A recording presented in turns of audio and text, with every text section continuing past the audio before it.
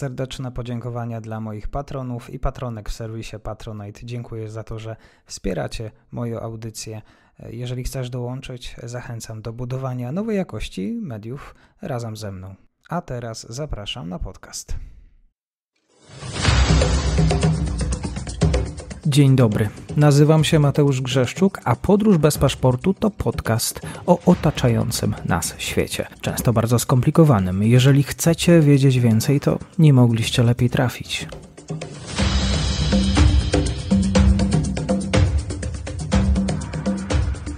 Dzień dobry Państwu, przy mikrofonie Mateusz Kubasiewicz. Zapraszam Państwa na rozmowę z Marcinem Krzyżanowskim, Uniwersytet Jagielloński, e, ekspert Warsaw Institute, e, także były konsul w Kabulu. Dzień dobry. Dzień dobry Pan, dzień dobry Państwu.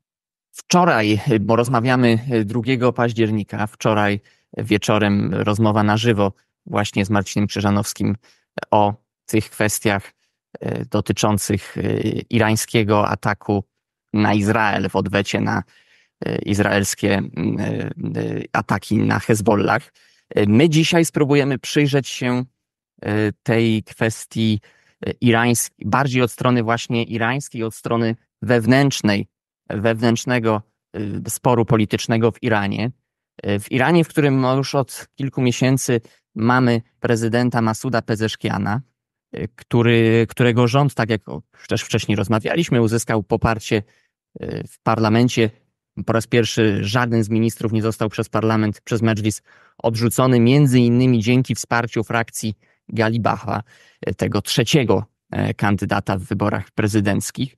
E, ale wydaje się, że e, też po tych, już po zaprzysiężeniu rządu, w tej samej frakcji twardogłowych, czy, czy pośród twardogłowych, no, mamy różne frakcje, mamy także podziały i sam kontrkandydat Pezeszkiana w wyborach prezydenckich, e, Jalili, e, oskarżył e, różnych, jak rozumiem, najbardziej twardogłowych, radykalnych polityków o sianie zamętu i stwierdził, że no tacy rozsądni, prawda, ludzie, reformatorzy, no w domyśle jak Pezeszkian, są mniej groźni dla Republiki Islamskiej niż właśnie tacy krzykacze, którzy by chcieli szybko, prawda, doprowadzić do zniszczenia Izraela i, y, i krytykują po prostu ciągle tylko administrację prezydencką, zamiast tutaj wziąć się do konstruktywnej pracy.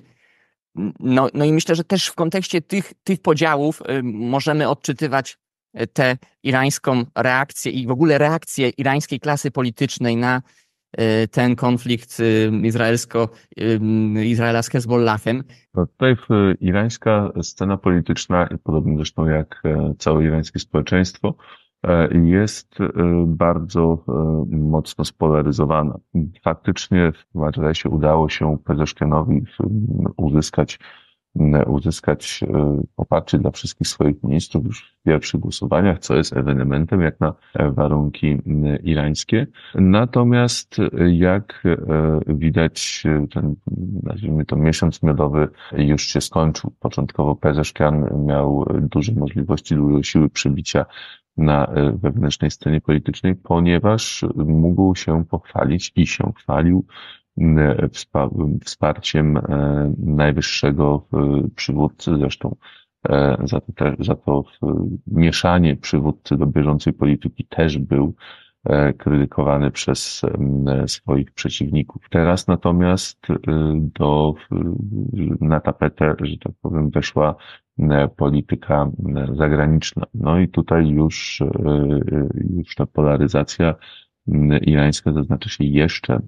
jeszcze mocniej. I irański prezydent został, został skrytykowany chociażby za e, swoje wystąpienie w ONZ-cie, e, przepraszam, za swoje wystąpienie podczas wizyty w Nowym Jorku na e, Zgromadzeniu Ogólne Narodów Zjednoczonych, E, za to, że e, rzucił e, tekst mówiący, iż Iran jest gotów, cytat, opuścić broń, jeśli Izrael zrobi to również.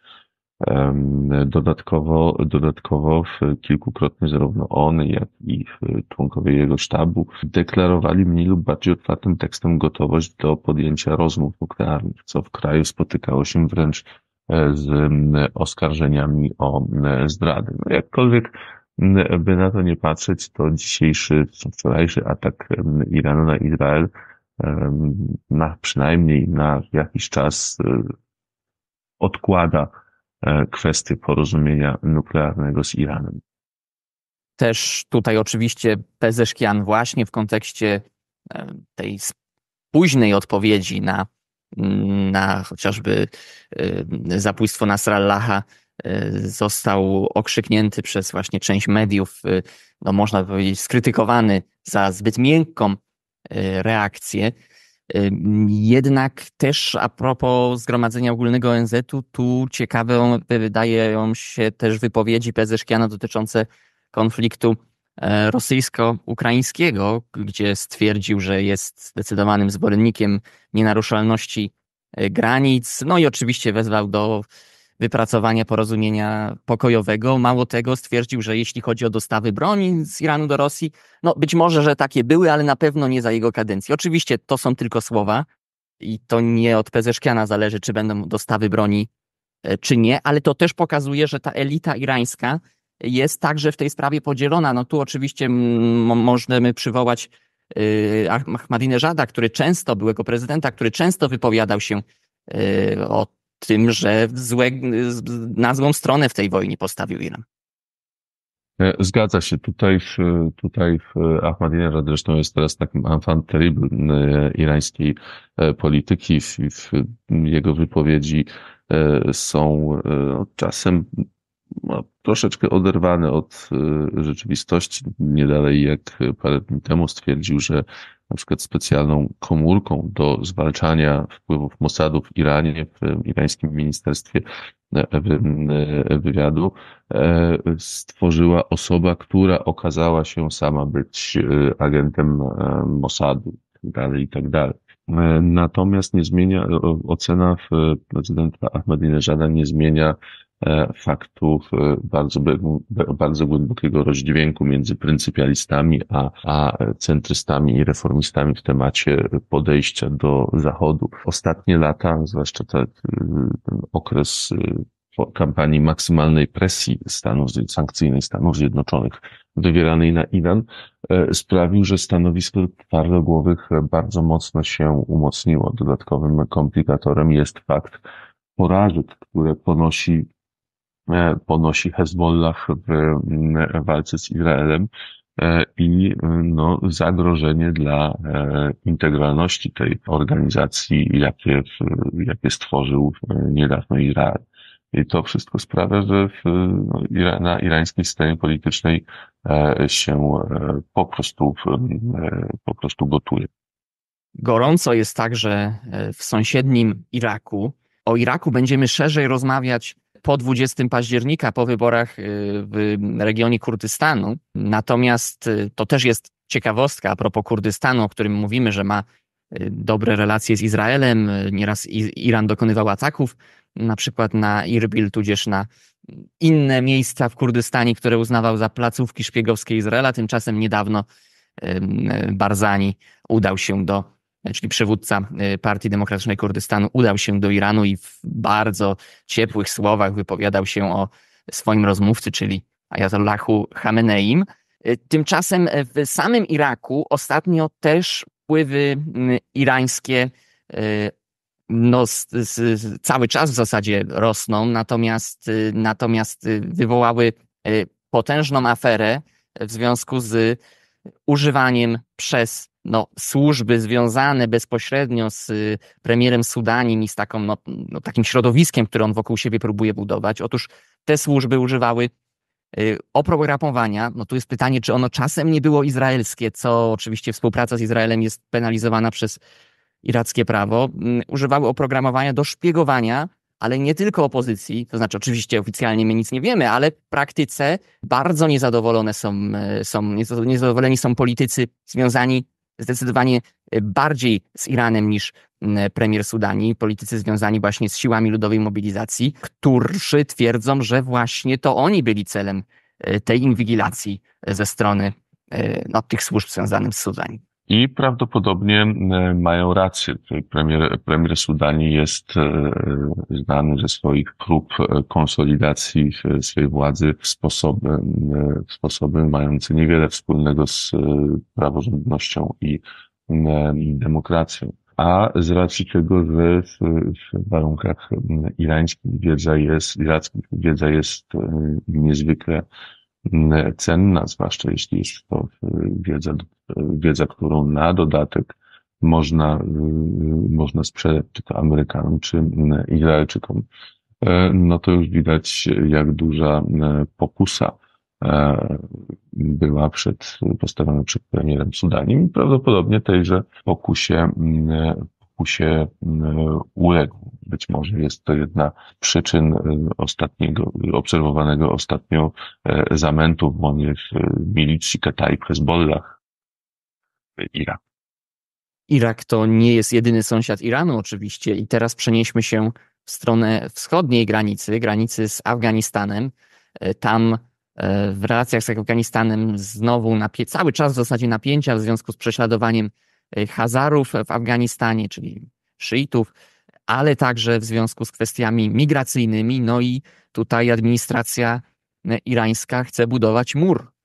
Ponoć 300 kilometrów ma mieć mur, no czyli jedna trzecia granicy miałaby być nim pokryta. Oczywiście to budowa już się rozpoczęła, pierwsze kilometry są stawiane, natomiast oczywiście ta granica czy ten mur będzie mieć 200 czy 300 kilometrów, i tak będzie płynna i tak będzie miejscem przemieszczania się nie tylko ludzi, ale też różnych towarów, a także, e, a także pewnie broni, bo tu nawiązuje z kolei do tego, co bliżej granicy irańsko-pakistańskiej w ostatnim czasie, czyli w prowincji Sistan-Beludżystan, mieliśmy serię ataków e, separatystów. Zgadza się i te ataki separatystów, e, które zresztą już są na trwałe wpisane ten polityczny krajobraz Iranu. Jeszcze długo z nami pozostaną wysiłki Iranu obliczone na e, zwiększenie kontroli nad e, wschodnimi granicami. Są e, bardzo czasochłonne i bardzo kosztowne od momentu rozpoczęcia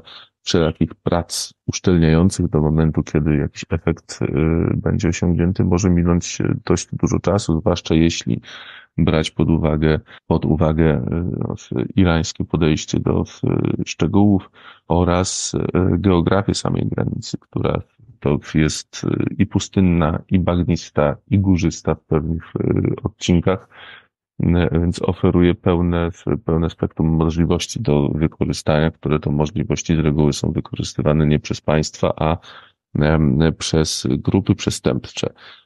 I tutaj jest kwestia, ta kwestia bardzo poważnym zadrażnieniem w kontaktach między, między y, Teheranem a y, Kabulem. Talibowie, tak jak pan y, wspomniał, z jednej strony, z jednej strony kiepsko traktują Hazarów, z drugiej jednak strony mają się na Teheran za traktowanie, kiepskie traktowanie, ściślej mówiąc, uchodźców afgańskich w, w Iranie. Tutaj pewną osią niezgody jest, jest też kwestia deportacji e, dokonywanych przez, e, przez Iran, e, które odbywają się często w, no, w warunkach w warunkach delikatnie mówiąc nieprzyjemnych. Są też oskarżani, oskarżani o dyskryminację Afgańczyków mieszkających w Iranie to przyjrzyjmy się jeszcze, jak w tym kontekście międzynarodowym wyglądają relacje irańsko-saudyjskie teraz, bo tu chociażby mamy wypowiedź Pezeszkiana o tym, że on absolutnie nie chce zaogniać relacji z Arabią Saudyjską, że chciałby odbyć e, wizytę. Z drugiej, no, generalnie ten konflikt y, izraelsko, najpierw Izraela z Hamasem, no, wzmocnił, czy ocieplił, doprowadził do, do, do polepszenia tych relacji y, irańsko-saudyjskich. Teraz y, wiadomo, że Arabia Saudyjska oczywiście będzie potępiać Izrael, ale będzie również y, wzywać do y, obie strony, czy, czy wszystkie strony do opamiętania się. No, wiemy, że jednak Hezbollah to jest daleki bardzo ideowo od Arabii Saudyjskiej i pewnie jednak Arabii Saudyjskiej nie zależy na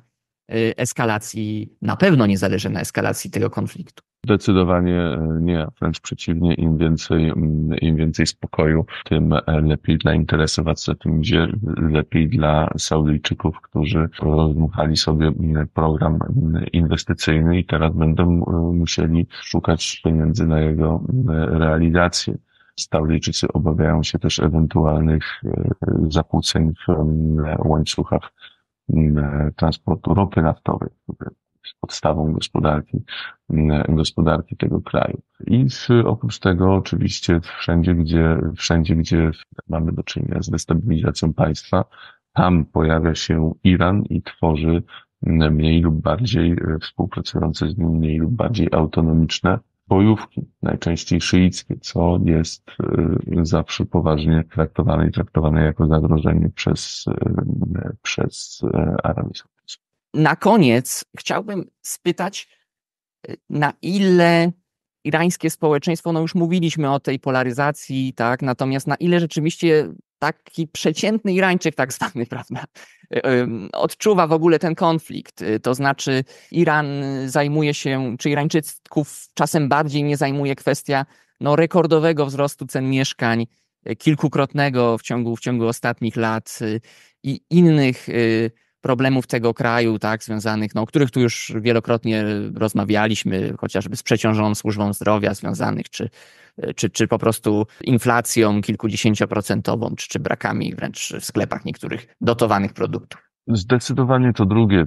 Irańczycy przejmują się w szczególności tym, co się dzieje u nich w kraju, a niestety pod względem gospodarczym dzieje się, dzieje się kiepsko. Bezrobocie, inflacje, rosnące ceny mieszkań, czyli te bolączki skąd inąd e, znane również nam, w Iranie y, przez sankcje, przez y, zaangażowanie Iranu w, konflikty bliskowschodnie stały się e, no, dużo bardziej dolegliwe niż w, e, naszym przypadku. I jest to poważny problem dla irańskiego rządu, gdyż potencjał niezadowolenia społecznego jest, e, jest bardzo duży. Zatem będziemy się przyglądać dal, w dalszym ciągu także temu konfliktowi. No tutaj Tutaj mój rozmówca przewidywał y, raczej, że ten konflikt eskalował nie będzie i pewnie ta prognoza się nie zmienia na razie, prawda? To znaczy. Zgadza się tutaj, chociaż, chociaż przyznaję, bije się w piersi. W piersi. E, uważałem, że e, irańskie uderzenie nastąpi, e, nastąpi sporo później, a nie w tym tygodniu. Natomiast co do reszty, co do reszty, no, moje prognozy się sprawdzają i oby tym razem też tak było, gdyż prognozuję brak eskalacji poza region. Oby, obyśmy, e, obyśmy nie doświadczyli, że tak powiem, collateral damages związanych z tym. Zatem będziemy się przyglądać tej sprawie, ale także właśnie po 20 października e, przyjrzymy się wyborom w irackim Kurdystanie, które też zapowiadają się dość ciekawie. Pewnie nie przyniosą jakichś wielkich zmian, ale E, ale na pewno warto te kwestie śledzić. Dzisiaj dziękuję bardzo za rozmowę. Dziękuję również. Do widzenia. Zachęcamy Państwa do słuchania pozostałych rozmów z Marcinem Krzyżanowskim na podróży bez paszportu, w tym właśnie tej wczorajszej e, rozmowy na żywo, e, którą Mateusz Szeszczuk przeprowadził, gdzie, gdzie właśnie bardziej przyglądaliście się tym kwestiom już samego ataku Iranu na Izrael i, i tych implikacji szerszych. Do usłyszenia. Dziękuję serdecznie za odsłuchanie tej audycji. Zachęcam oczywiście do kliknięcia subskrybuj, obserwuj oraz wsparcia mojej pracy na serwisie Patronite. Do usłyszenia.